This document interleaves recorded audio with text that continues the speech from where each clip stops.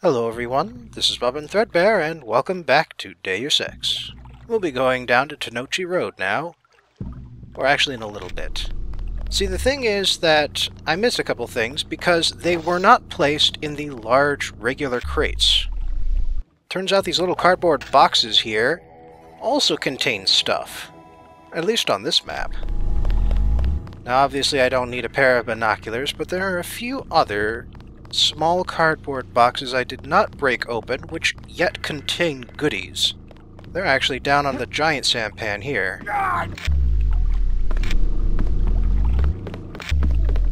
Not too much damage.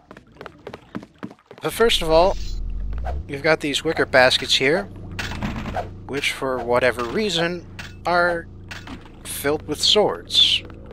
Smuggling, I guess? Well, whatever. So back here in the engine room, these cardboard boxes in the crate. One of them contains 300 credits. Very nice. I mean, entirely random, but very nice. I'll have to keep an eye out for those little cardboard boxes in the future. But as for right now, it's time to go to Tonnochi Road and finally have a Not chat. advisable for tourists to visit the canals. I don't know if you're sick of him saying that, but I'm sick of him saying that. Now let's go see Maggie Chow. Finally. You are an unfamiliar face on Tonnochi Road. I'm here on business from Gordon Quick. You are here to speak to Miss Chow, perhaps. Half a block down on the left. Thank you. The woman is a snake. Believe nothing she says. I myself have been watching Miss Chow. She just met with Max Chen, leader of the Red Arrow. You may go about your business. We had an agent in the building across the street, but he left for business in the United States. Don't let yourself be fooled. Maggie Chow is a clever woman. Interesting. There are a few other people down here. I bet you come from the market. That's where I want to go. My mother said there's too much fighting. I have to stay here. I don't hear any fighting. The triads know better than to cause trouble in public. I hate Tonnochi Road. Well, that's a shame, but it's not that far a walk to get across the canals. Strangers in Hong Kong should stay near the market. The side streets are not safe for tourists at night. Did anybody else hear that? You should always carry a map. Strangers in Hong Kong should stay near the market. Maggie Chow wants to see me. I assume that's her hotel across the street. That is correct. How do I get up to see her? The main elevator. Maggie Chow will be angry if you arrive any other way. This is a dead end. I advise you to turn back toward the market. This is a dead end. I advise you to turn back toward the market. Well, turns out that he's right. Something I like about Tonnochi Road is all of the neon lights. That's sort of what you'd expect from a You missed them. They left over an hour ago. Chinese street. Guess they're painting up there. Saw it on their boots when they came out of the alley. I used to paint myself. Think they're hiring? I used to paint myself. I'm looking for a way into this building. Use front of building. Only triad use sidewalk live in back. Good advice. Best advice, avoid red arrow. I used to paint myself. Best advice, avoid red arrow. So that's the entrance here that they're talking about.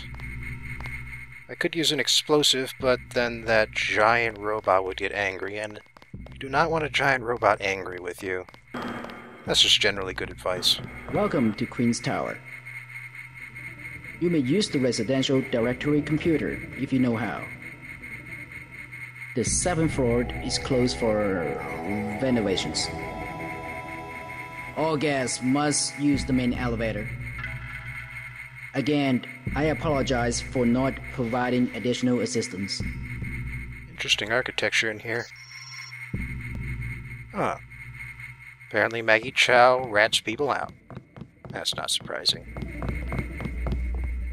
Sort of break room in here. 50 credits isn't that bad, but it does have this security terminal. And that allows us to hack three cameras and open that side passageway with zero lockpicks and zero explosives. Very convenient.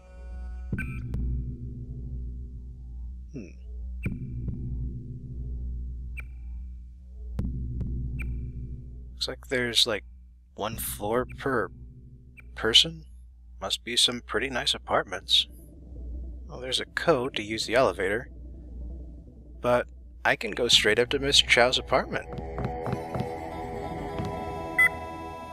That's awfully convenient. Now I'm actually going to avoid my usual instincts of exploring everywhere on this one occasion, just so we can see how this is supposed to play out. I'm looking for Maggie Chow. You must be Mr. Denton. Miss Chow has been expecting you. She is waiting in the living room. Please follow me.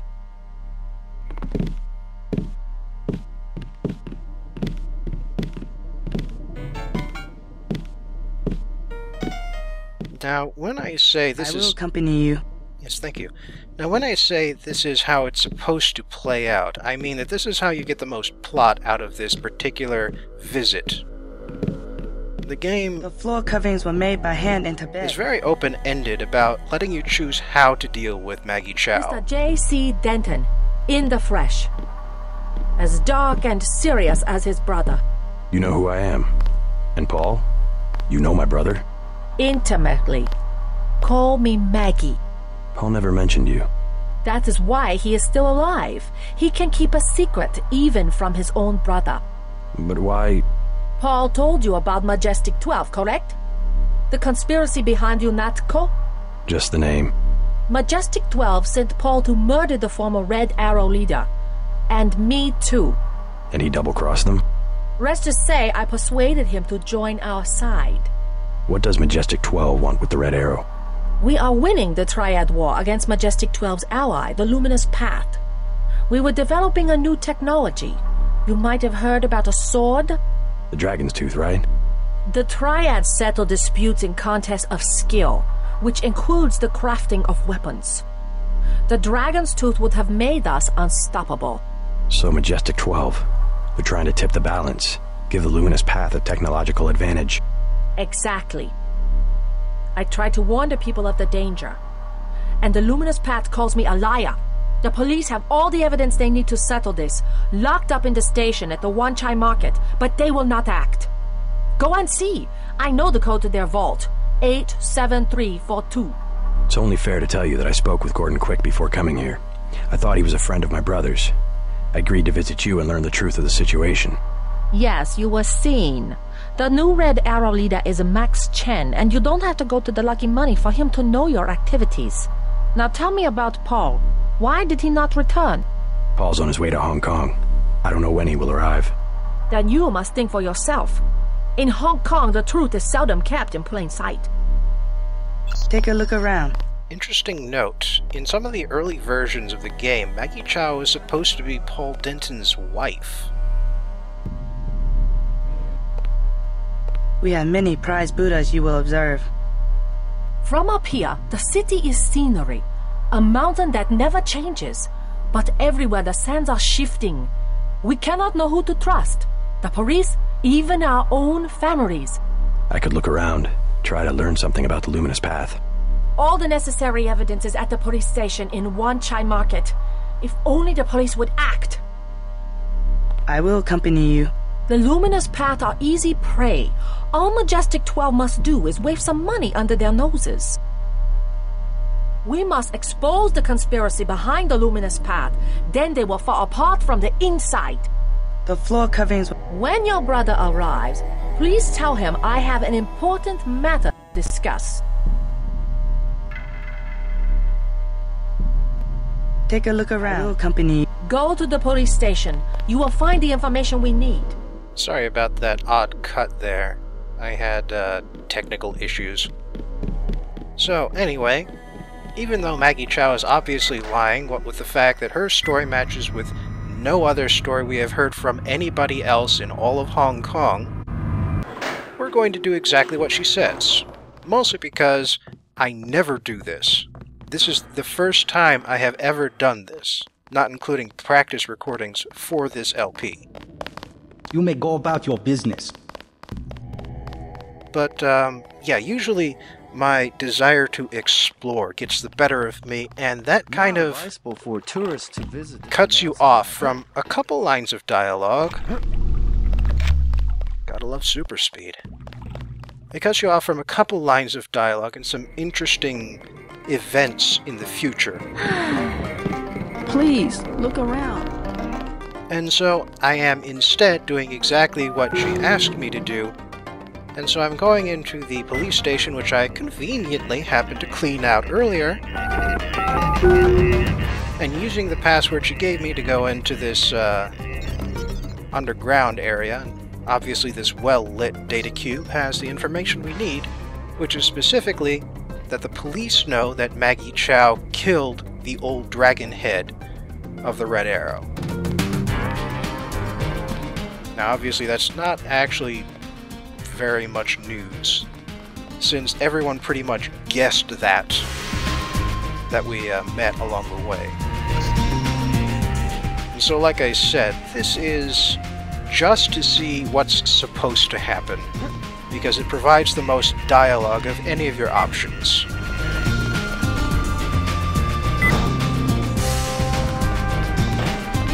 Alright, now that we know that the police, as well as everybody else, knows that Maggie Chow, you know, works for MJ12, assassinated the old Red Arrow leader, Not advisable for tourists to visit the canals. and is stealthily influencing the Red Arrow, uh, the, the new dragon head of the Red Arrow, Max Chen.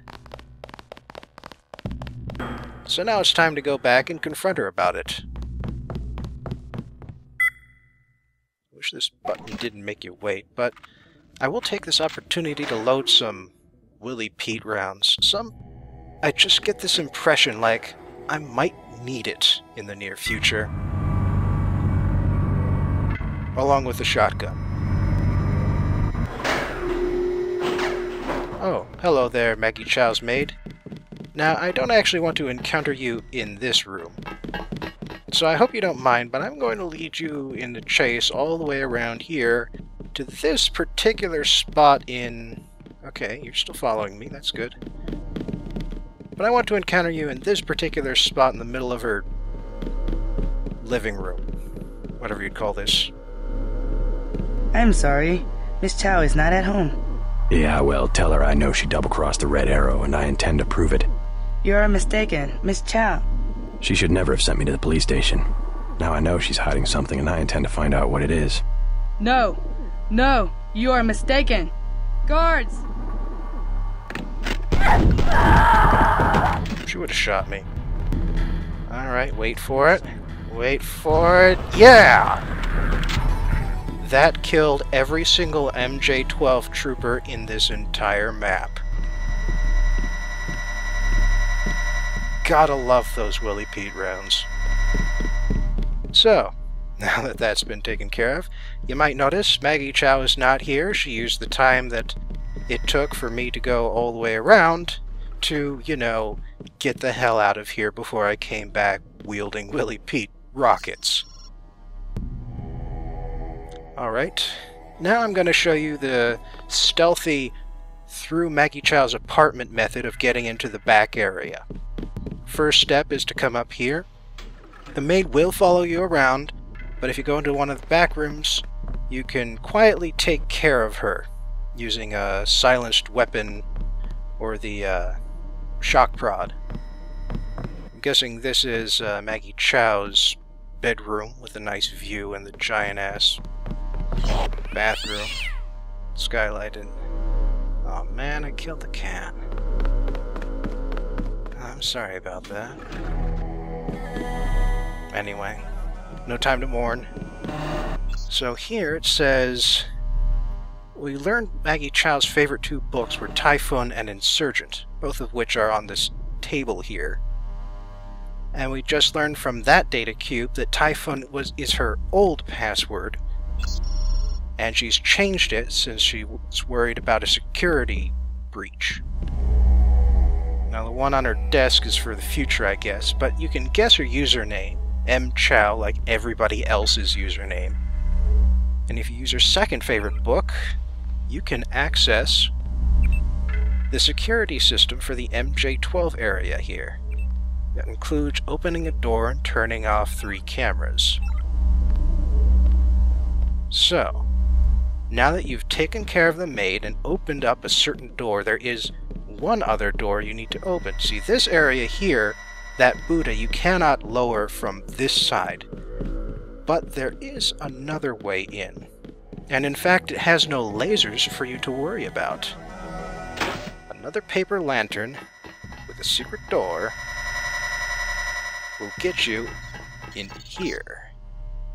Greetings, J.C. Denton. I have been observing you through this fascinating device in your skull.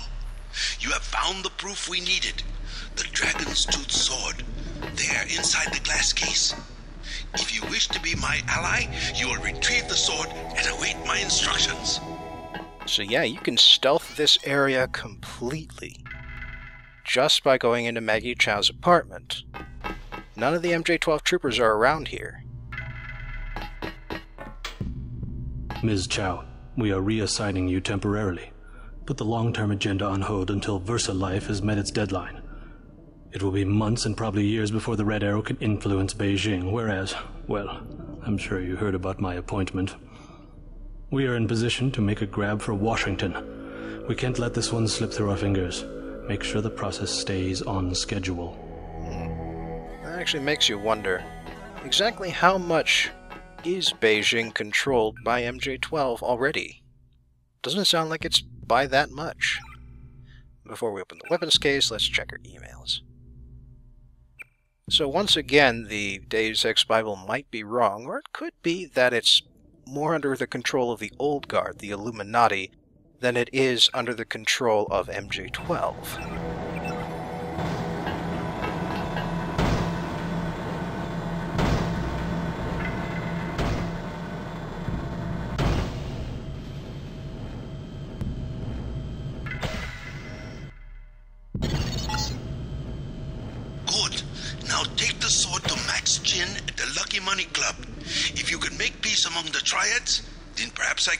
In your difficulties.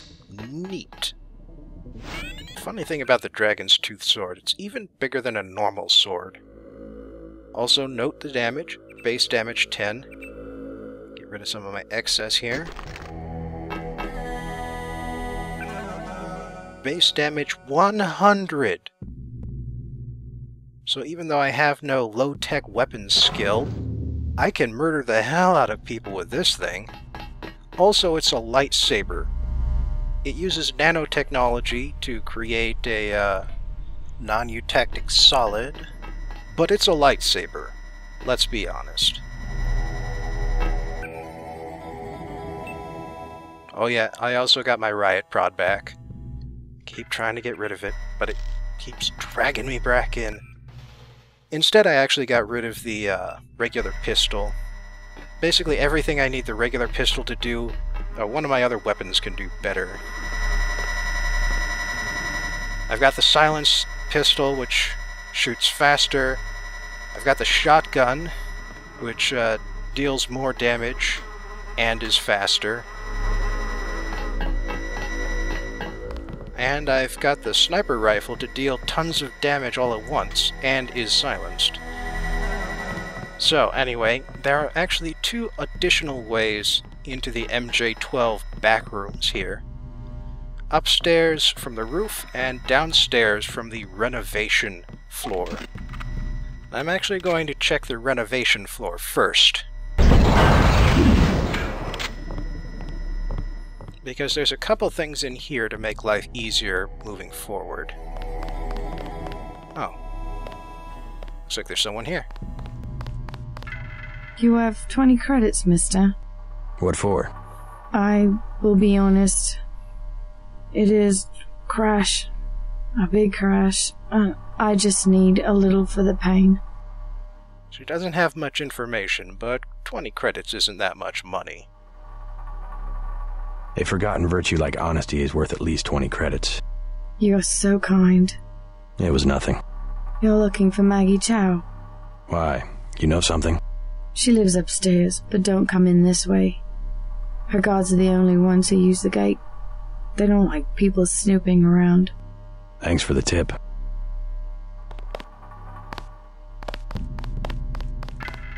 I guess she lives here. Pillow. Pathetic amount of food. Sounds about right. Uh, this is the Queen's Tower security password.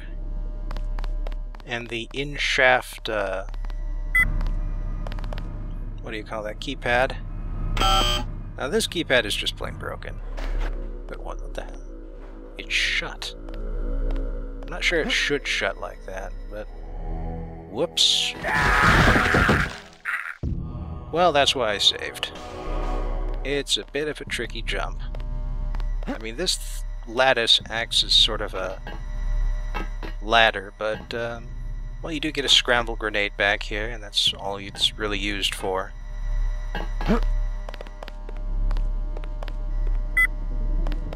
It won't let me in. Hmm. I was hoping to take it downstairs, but I guess I'll use the lattice work for that. Kinda takes longer. A little annoying. But I don't really have a choice. Now we reach the part with a giant hole in the lattice work. I don't know, maybe I could make the jump to that ladder over there. If I'm careful. Or not.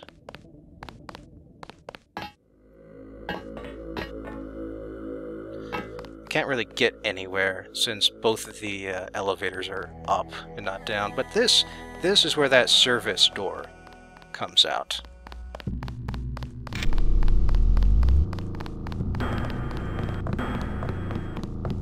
Didn't want to have to do this exactly, but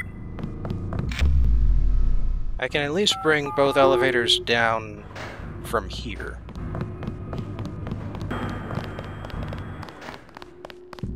I'll just go back out through the service door. That'll get me on top of both of the elevators.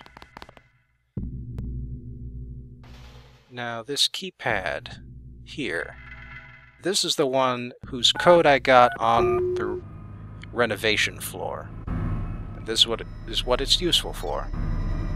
Reaching the roof. Free multi-tool. I'm still full up on those. Looks like there's a ladder I might have been able to use, but... Well, whatever. So this is how you get into the back area. Or you could just go through the roof here. Go through the skylight. I don't think there's any real jumping to be done. Ah, whoops. And this is why using the skylight is not the stealthy approach to this particular conundrum. But it's luckily we don't have to stay here for very long. We'll just be getting out through another window. And now it's time to explore this apartment.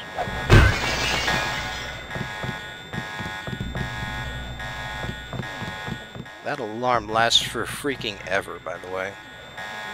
That's why I did not want to uh, turn it on. Oh, this is Jock's apartment.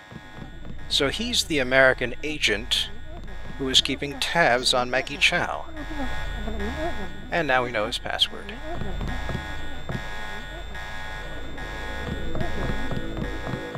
See if he's got any decent food in here. Well, it's fairly well stocked, but there's the usual junk food. So in his closet is actually where he's hidden his uh, computer terminal.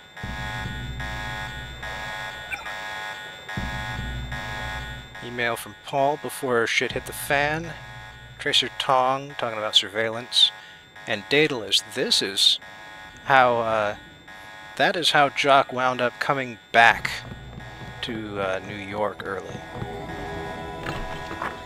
And also, that door is infinite, infinite, which means that uh, that was the only way to get into this apartment. At least right now. There's another key you can find, but it you can only find it after the part I'm at right now. This is the elevator to get up to Jock's apartment level, and I wanted to show you something here quick, assuming I hit the right button. See, it's kind of interesting. There's no lattice work, there's no ladder here. There's no way up if you're on the roof of this particular elevator. You can see that there. However, there is a way out. I suspect specifically to keep you from getting into an absolutely unwinnable situation. I bet you come from the market. That's where I want to go. I suppose that's what the skull here symbolizes. Anyway, just a neat little fact. That little area there really isn't for anything else except to get you out of a problematic situation. So it's nice that they thought of it. Now there's one other area to explore on Tonnochi Road, and that's to get up onto the roof of Jock's apartment building.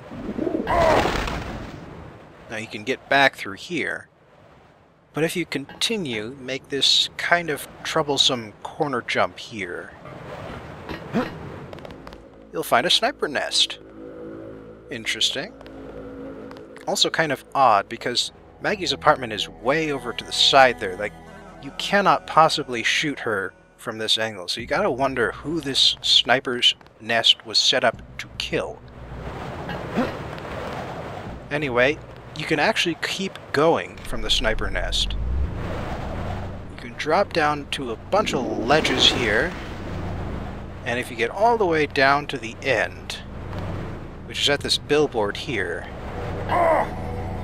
you can get a couple other goodies. Biocell, a lockpick, and 40. In fact, we might be able to use one of those. Now this last jump here is a doozy. But it's completely doable, even if you don't have super speed. Super speed just means it harms you less. And you can actually jump around on the signs from here, but there's nothing else to pick up, nothing beyond the goodies on the uh, billboard and the sniper's nest. Not advisable for tourists to visit the canals at night. Now, I figure, you know, it won't take that much time. So let's get the sword, Dragon's Tooth, back to Max Chen.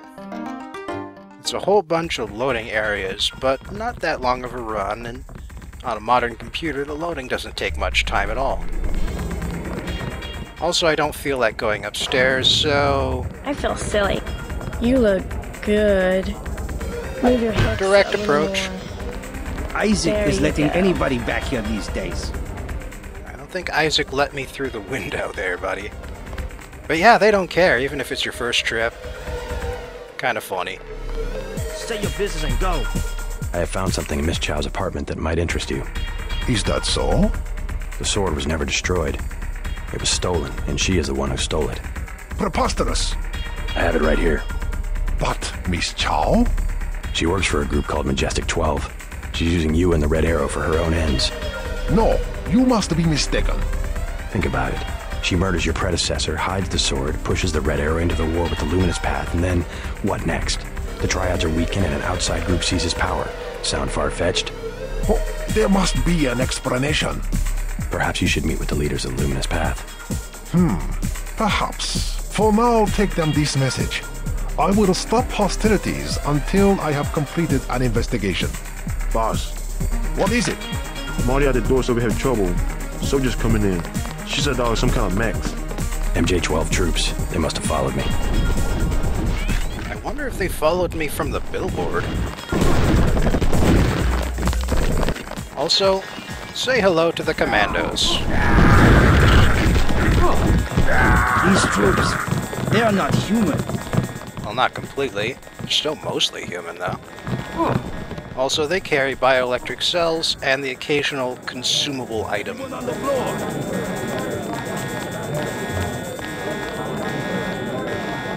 So apparently the, uh... You acting like a fool! Apparently all the Red Arrow guys here are pretty effective. Normally they don't take care of the, uh... MJ-12 commandos quite so easily. But hey, I'm not complaining.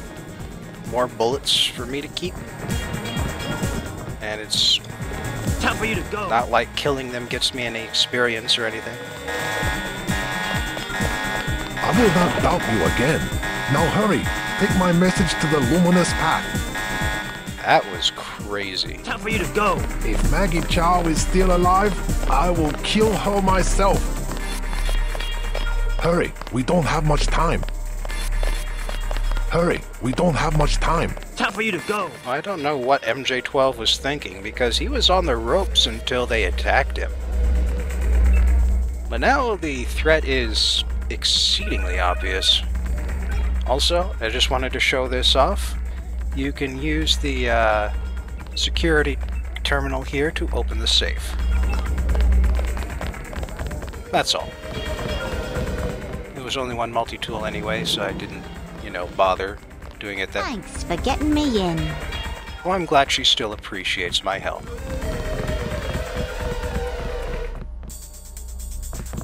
Uh-oh. What the hell?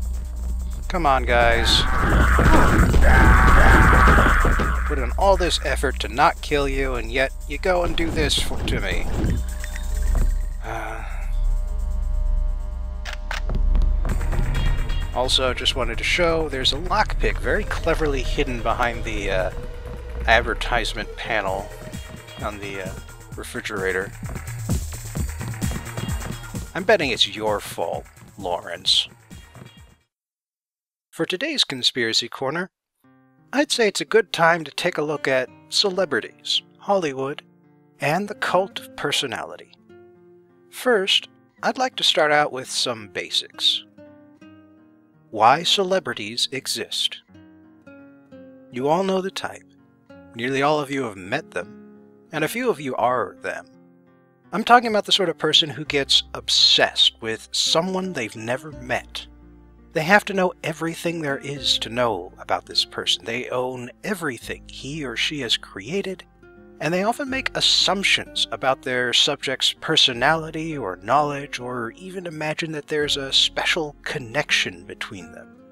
Or if the obsession isn't over a person, then it's over a fictional setting, or a kind of animal, or supernatural creature such as vampires or dragons.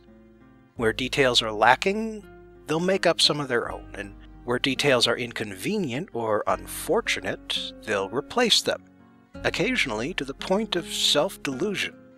So, where do these people keep coming from? Well, it's actually a pretty simple extension of the conflict between self and other. Every social animal has the ability to extend their sense of self to their family, to their herd or pack. To attack one is to attack them all.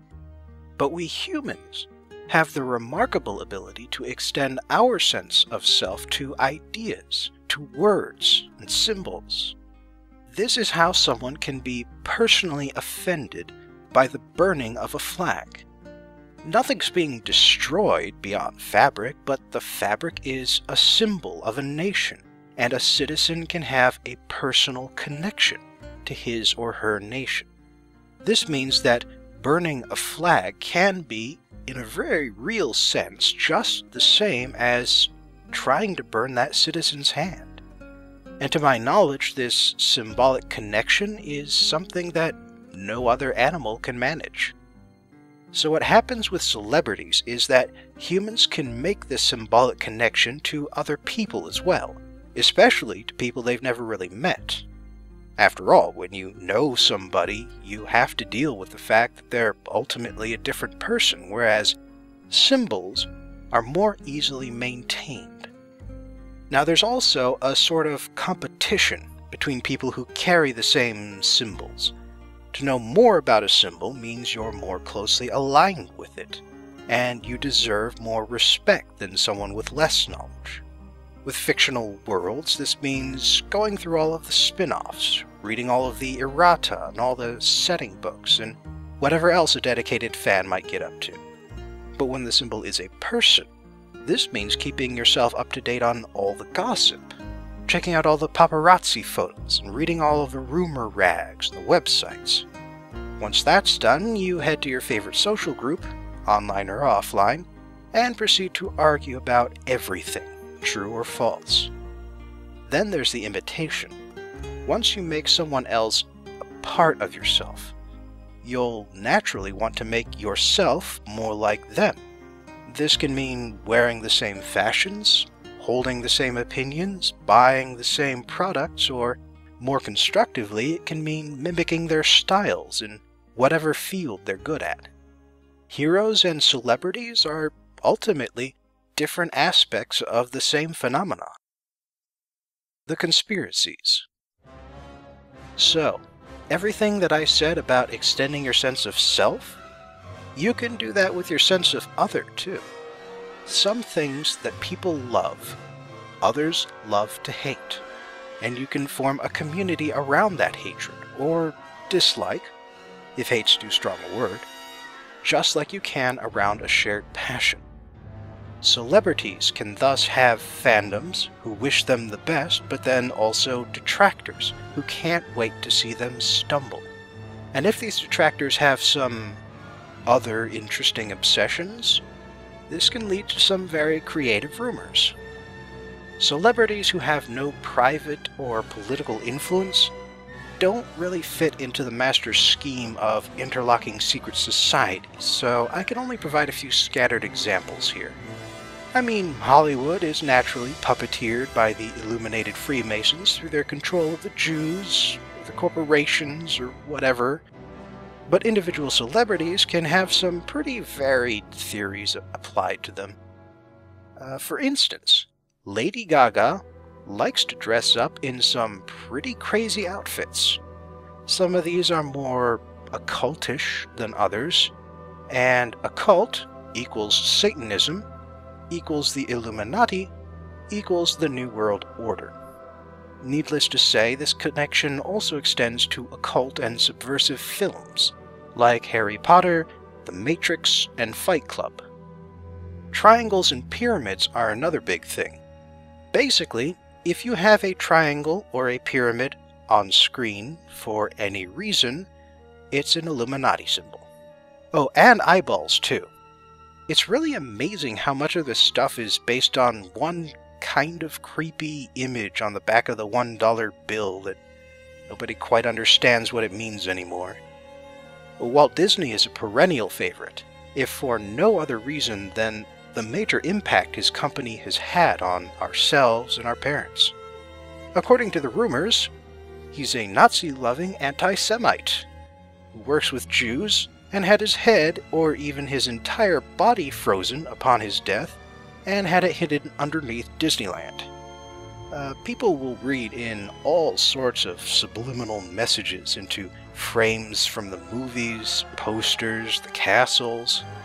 Uh, then in the 80s, some of the employees evidently heard about these rumors and they've been trolling the conspiracy theorists ever since. In one episode of DuckTales, there's an eye chart that reads, Ask about Illuminati. And in an episode of The Suite Life of Zack and Cody, somebody wrote The Illuminati Reveals very clearly on a chalkboard. The Simpsons has gotten in on that act too, and so has SpongeBob SquarePants. Uh, moving on to an older rumor. Have any of you seen The Rocketeer? The villain is a suave English action hero who's Errol Flynn in all but name, and it turns out at the end that he's also a German spy. The thing is, that's actually based on a rumor started by Charles Higham, who wrote a scathing and mostly fictional biography of Errol Flynn in 1980. Uh, but of course, the rumor is as laughable as Timothy Dalton's German accent. In actuality, Flynn tried to join the armed forces in 1942 when he became a citizen, but he failed the physical thanks to a bad heart and all sorts of venereal diseases, something the studio kept quiet because of his status as an action hero. Plus, if anything, he was a strong leftist.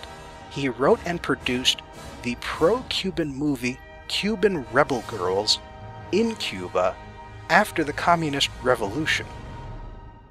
Personal thoughts I've never had a personal hero. No one I'd point to and say, I want to be just like him. I remember back in school, I'd get essay questions like, Who do you consider to be your hero? or Who would you like to meet more than anyone? And I'd be stumped. I'd have to make something up. Now, this doesn't mean I don't appreciate other people. I love my parents and my grandparents. And like any aspiring writer, I am influenced by a short list of authors I really like Isaac Asimov, Poul Anderson, Mercedes Lackey, Corey and Lori Ann Cole, and although it's uncool to admit it, R.A. Salvatore. Still, I've never had any desire to meet them or to get inside their heads and know more about them than about myself. Could be it's something to do with the social anxiety, but hell if I know. The point is, I'm the weird one here. And even so, I'm not that weird. My interests are more generalized than obsessed over one fictional setting or hobby or group of actors. But I can still get invested in something I can still care about other people, both real and fictional, and I can still be optimistic about the future despite who I know is going to be in charge of it, namely humans. And given that at this point, I've basically described every person who exists on this planet, I don't think we should be too harsh on those who suffer from the celebrity touch. It's merely an extension of our most human nature. We've all got something to keep us on this planet. And if you don't, you should get one. Thanks for joining me again in Conspiracy Corner, and I hope I'll see you soon.